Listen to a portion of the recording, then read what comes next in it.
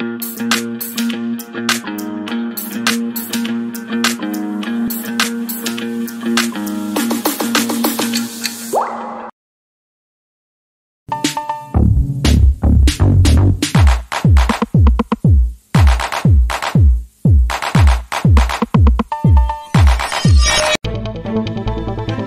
Yes, Bruno K has been attacked by a section of Ugandans. Uh, they have told him to stop being a cry daddy Yes, uh, that is the latest news I am bringing to you right now on the Buzz UG. My name is Melads, and uh, in case you haven't subscribed, kindly tap on the subscribe word on your screen, and uh, do not forget to tap on the bell for all the notifications. Now, the latest news I'm getting from uh, Bruno K's camp indicates that um, he's missing his baby mama Rachel, who passed on last year.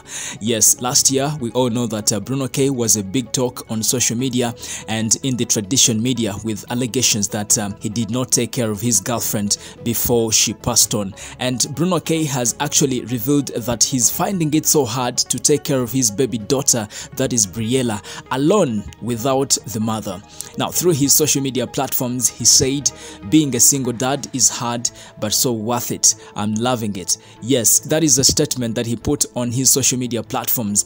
However, he later deleted this post after his followers attacked him seriously, questioning why he's becoming a cry daddy on social media. Yet we all know that uh, Faridah Nakazibwe is helping him with other responsibilities. A few weeks back, we heard that uh, Faridah Nakazibwe decided to play mother figure in Briella's life. So it kind of surprises many to see that Bruno K is still crying on social media. Others have told him to stop posting his daughter on social media all the time because it's not good. Yes, they don't find any goodness in posting, you know, his daughter all the time on social media.